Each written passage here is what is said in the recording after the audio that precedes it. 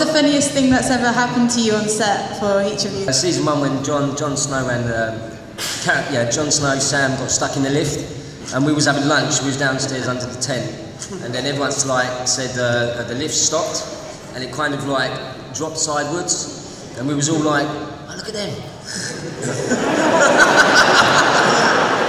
and um, Like four hours or something. they were really, yeah, they were really scared. They were up there for about four hours, and then some guy climbed up with his big muscles, climbed up, like it kind of uncranked something, and obviously it came down, and um, yeah, but that was that was quite that was quite um, funny, but obviously we, we was really, you know, um, worried about them.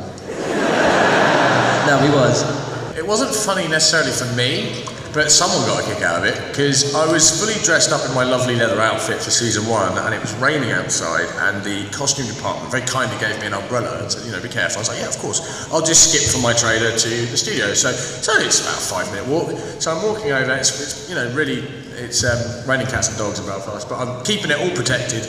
And then this big car, just sort of a jag just um, swoops around the corner and nails me, completely nails me with a puddle, like splashes all over me, and I'm just sort of stood there going, what the? And I'm stood there soaking, and the driver, a really lovely, big, big lad, gets out and goes, oh, I'm getting, I'm so sorry, I'm so sorry. And Sean Bean gets out of the back and goes, eh, that was funny, that.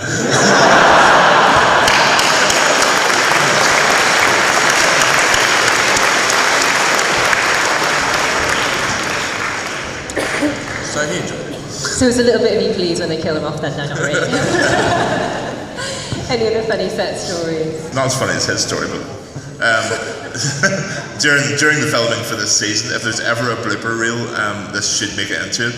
Um, without giving away any of the story, I sort of stand up and warn of danger by saying Hodor, and it was on top of this little hill, and I stood up and I, I stood in my cloak, and I literally went ah! down, down the hill, was lying at the bottom of this ditch, and, and, and, and the, the director comes up, Michelle MacLaren comes up and goes, uh, "What's- "Can we carry on?" And I'm like. I'm lying here. Don't worry about me.